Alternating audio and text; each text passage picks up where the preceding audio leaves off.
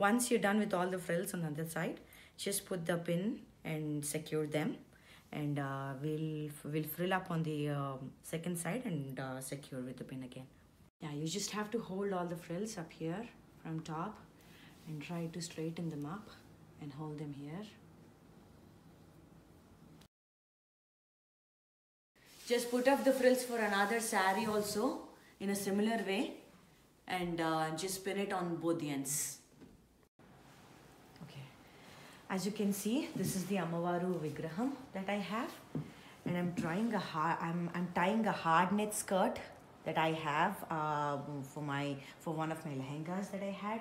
So this has got um, a little hard knit inside just to give you a little more support for the sari and um, it'll just make it uh, look more frilly.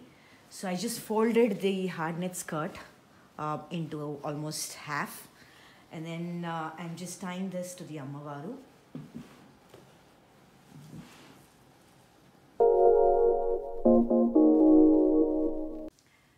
Now I've taken the sari that I have uh, ironed and kept it ready. You just have to check the height and uh, fold the sari um, and then check the height accordingly and then tie it to the Ammavaru here.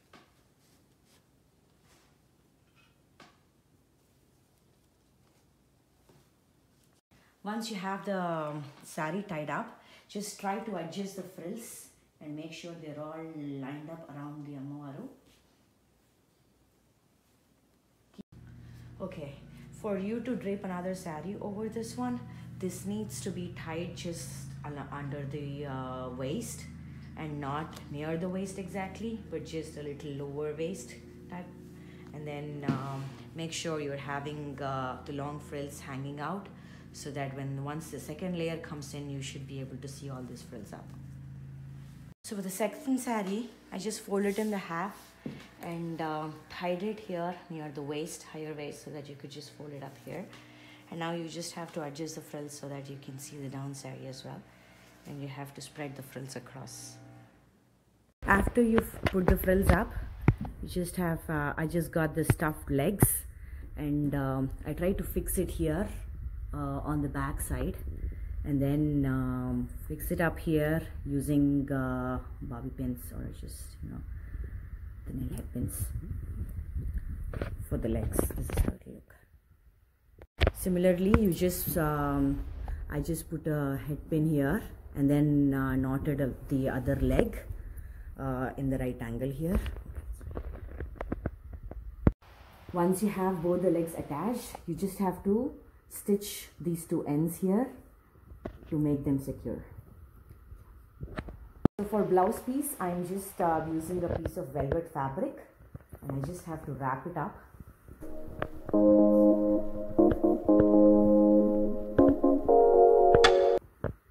around the Ammavaru and knot it behind it. You can just tie a knot up and just put a binder clip and then in the front just pull them down. And then uh, just put a nail head pin here. And another nail head pin on the other side. This is my brass Ammavaru face that I have.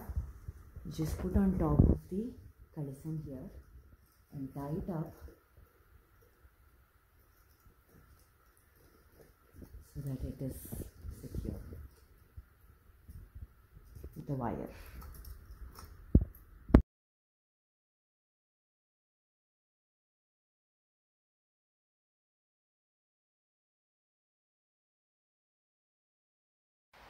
So you can just fix these hands up here with a rubber band, a clear rubber band. That's it. Similarly, you can just do this one. And this is just a um, ring that you just have to fix it to the hands. Start decorating your Ammavaru with all this. This is the final look.